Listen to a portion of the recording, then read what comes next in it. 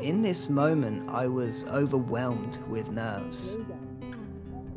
Standing on the start line, facing the uncertainty of running a hundred miles. There was this heavy feeling of walking into the unknown. I may have dreamed about this race for years, but I never expected it to be this hard. This is a brutal hill. I think this is the start of the hilly part now. Uh, so, I think there's going to be a lot of elevation now coming up. 2023 was another wild year. Oh, what a good race. A year of bucket list achievements. This is stunning. A mostly successful year, but I had my share of failures. This is stunning. Here we go. Finish.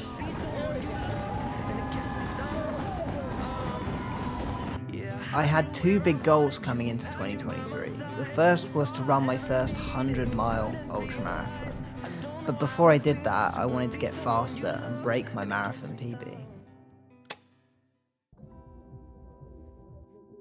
In 2019, I ran Brighton Marathon in 3 hours and 32 minutes. Four years had passed, so first I needed to test my marathon fitness in training. It's now two weeks until uh, the big marathon at Goodwood. So this is my last big long run session before the race.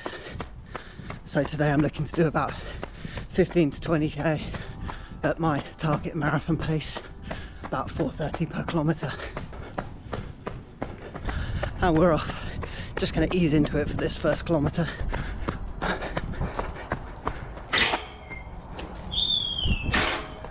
This is definitely a pace that's like manageable but not comfortable. So uh, yeah, it's going to be interesting trying to run a marathon at this pace, but supposedly my fitness is there to do it, so we'll see. I just hit 15k, so halfway through the session.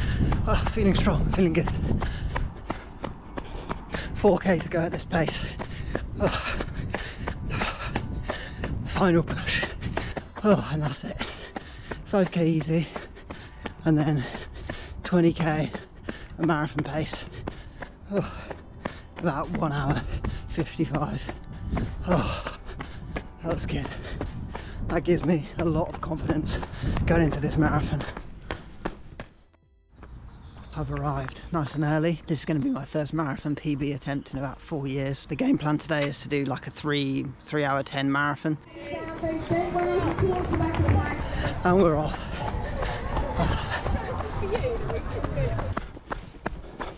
One and a half k in. Just easing into the pace now. Oh, I feel like this is going to be an amazing route for a marathon. Super flat. 9k in now. Muscles have warmed up, so this is starting to feel a lot more comfortable. Right, 13k in. Just under an hour. Time for a gel. 20k in. Oh, still on pace, but starting to suffer now.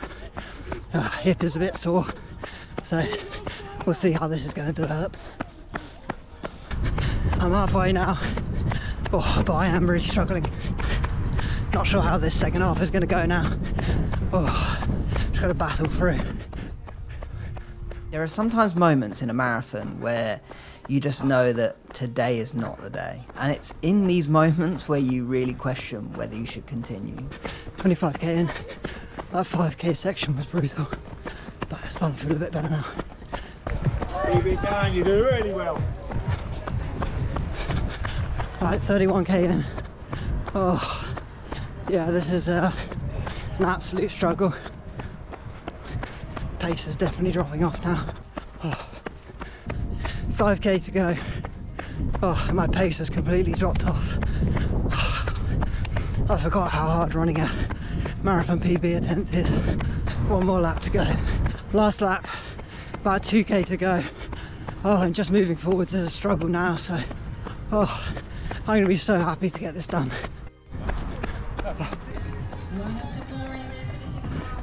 Here we go. Finish.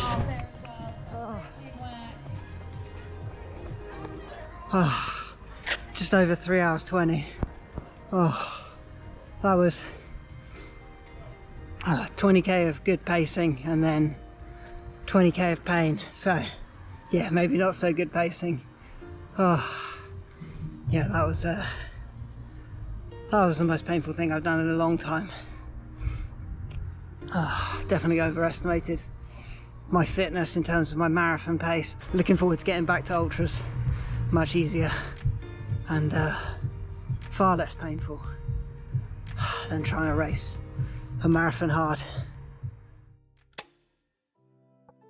There's a massive difference between racing a marathon and simply running a marathon. After Goodwood, it was time to rebuild my ultra endurance, so I jumped in the car and drove down to Southampton for a hilly road marathon. Bit sun, that's what we need to warm up.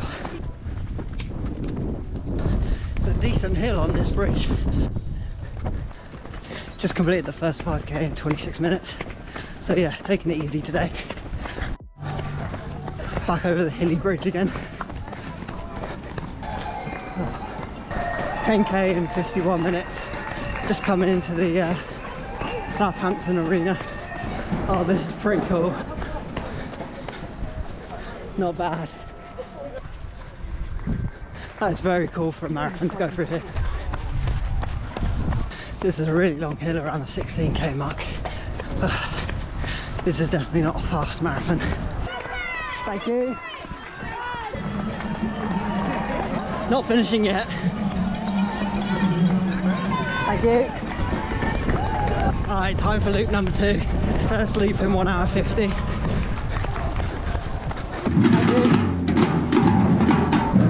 Oh, two hours in. Still feeling good.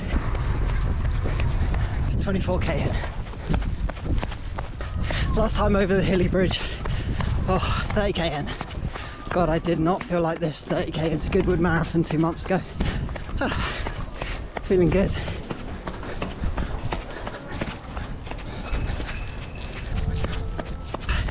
Thirty-nine k in. I can see the park now. So most of the hills are done. It's pretty much downhill now through the park and into the city. There we go, finish line in sight.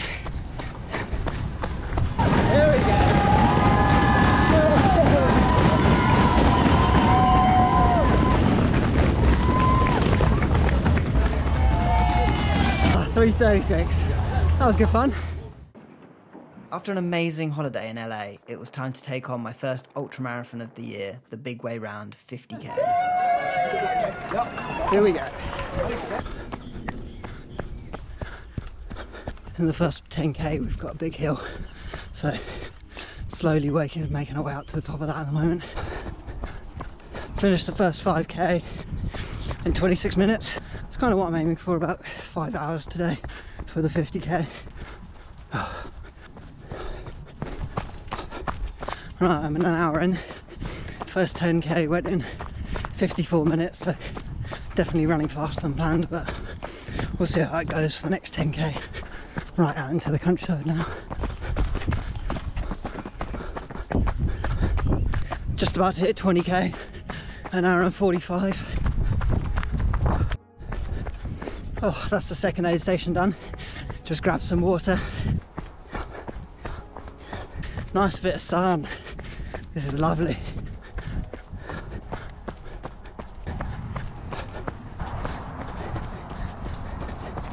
Oh, this is stunning. Just coming up to the third aid station, going through a lot of water now. Pretty much going to need to fill up, I think, for every aid station going forwards because it is a lot warmer now. Oh, just under 35k. Oh, three hours, four minutes.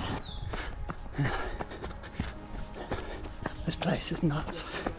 So beautiful. My energy levels are a bit low now. 39k in.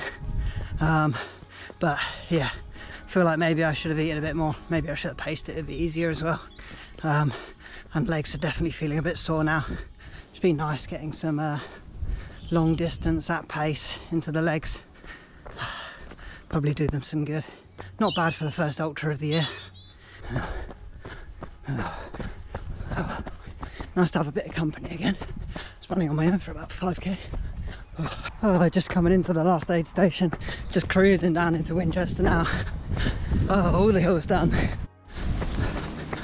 Oh, two and a half k to go, and the heavens have opened, and it is pissing it down. oh, I was getting a bit warm anyway, so cooling down, but yeah, nearly finished.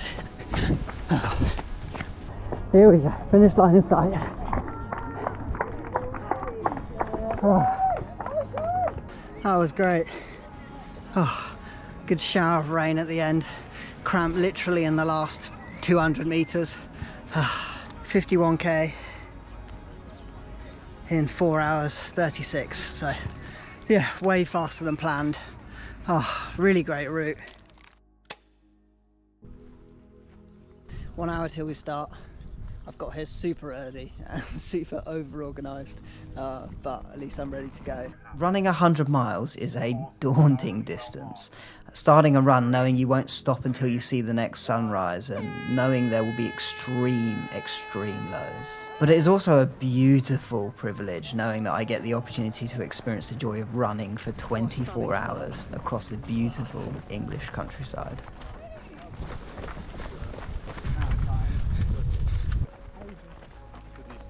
8k in. Been running for just under an hour. Had a really nice chatty sociable first first hour. I'm going a little bit too fast. Uh, target pace today was 8.15 per kilometre which would put me in about 22 hours. Thanks, I don't know about you, that feeling? Me, it's a half hour drive. That is stunning.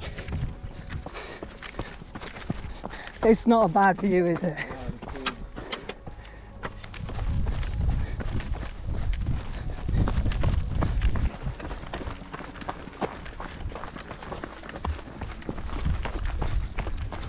Oh, I am absolutely loving this.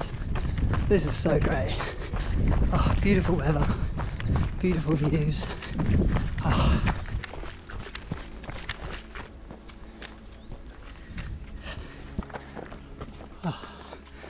stunning view from up there. Look at the views that we've got today. Oh, trying not to go too fast on the downhills. Do not want to be wrecking my legs 20k into a 100 miler.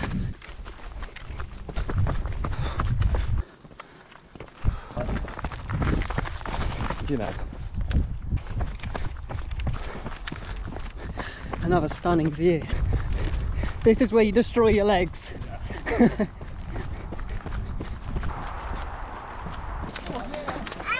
yeah, didn't need any water at that one, so just gonna cruise on. Next aid station is about an hour away, so just gonna keep moving. It's a decent hill coming out of this aid station. Four and a half hours of running, and I still haven't run the first marathon. There's a lot of work to do.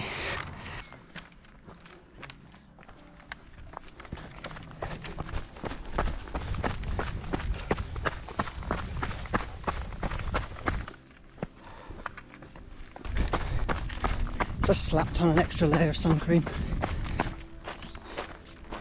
First marathon done in 5 hours 18 minutes. Moving well. Just came across an aid station that I wasn't expecting. Um, but three bottles of water, Coke, and I've got a bunch of ice underneath this hat, which is amazing. Oh, so cooling me down a lot. Oh, that was a nice little surprise.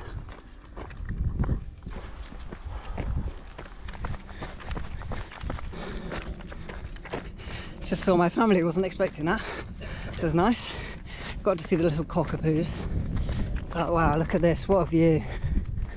Not a bad place to run.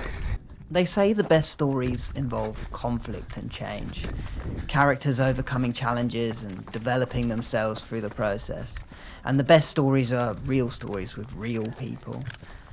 Running 100 miles may be artificial hardship, self inflicted suffering. Oh, thank you.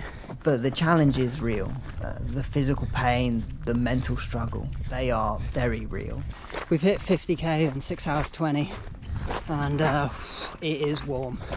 Just saw a guy throwing up, so yeah, bit of a warning sign that. Need to manage the heat, make sure I'm drinking and getting enough salt in.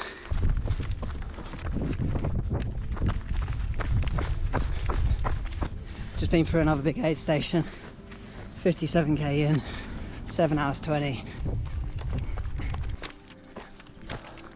So far my body's holding up pretty well. Um, hips are a little sore, right foot's been a bit twingy, but pretty much everything's sort of still working as it should.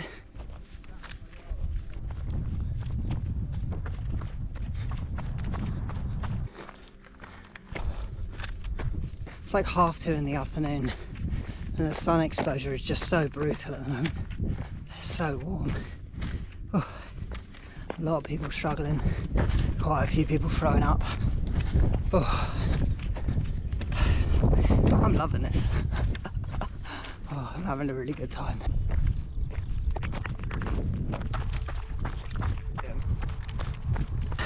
Really struggling with the heat because there's no shade at all. So yeah, going for a bit of a, a low moment at the moment.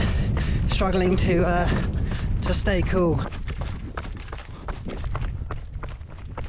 This is the first time I'm actually running my own. I can't see another runner from the race, so it feels really spread out. Um, but yeah, basically spent the whole race so far just chatting to people, pretty much running with one guy called Pete. Oh, yeah, it's been really nice. 10 hours in, that's a big milestone. 76k, so coming up on halfway soon. This is a brutal hill. I think this is the start of the hilly part now. so I think there's going to be a lot of elevation now coming up. Oh, this hill is unbelievably steep. And it's unbelievably hot. Oh, I'm really struggling here. Oh.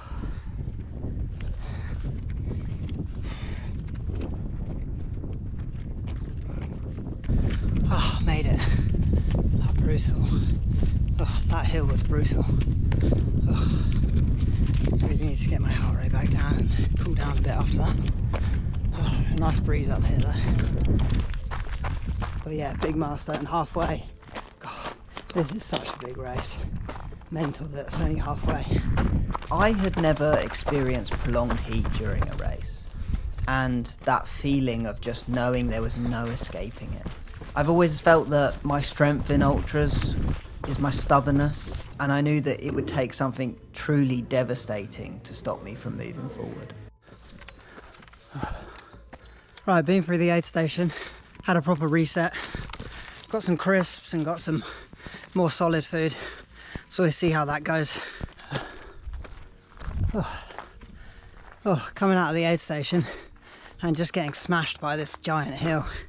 Oh, got nice and recovered. Oh, straight back into it. Oh, the heat is starting to drop off now, but my stomach is now having issues, so that's going to be the next problem to figure out.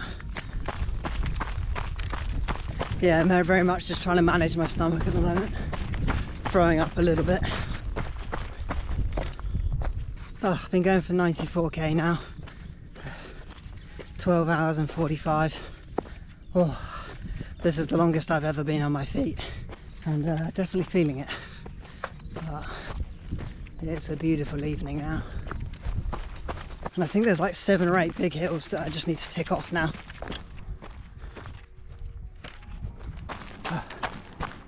I'm still moving, but it is hard work. This is easily the hardest thing I've ever done, without a doubt.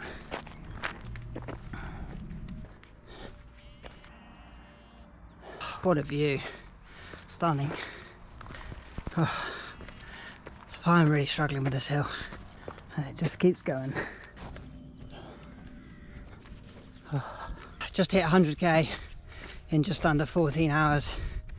Oh, that's nice. Yeah, 60k to go, which is a long, long way, but with the temperature dropping, and hopefully I'll be able to get some calories down soon.